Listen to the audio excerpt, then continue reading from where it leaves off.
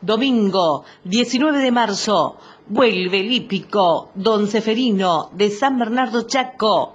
Programación espectacular de Leo Espíndola, Jesús Aquino y la colaboración de Anderson Rocha y Alexis Sánchez. Superclásico indumentaria de Turf La Pasión en 300 metros. El capo del Estud La Corona de San Bernardo.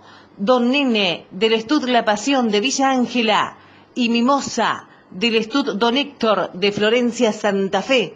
Concurrí en familia y apoyar el turf de la provincia. Invita Cuadrigas Chaco.